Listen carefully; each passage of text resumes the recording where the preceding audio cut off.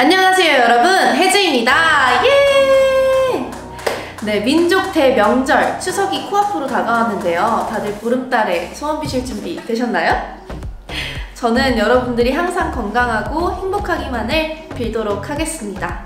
다들 쌀쌀한 날씨가 되었는데 감기 조심하시고 행복하고 맛있는 음식 많이 먹는 추석 되시길 바라겠습니다. 감사합니다.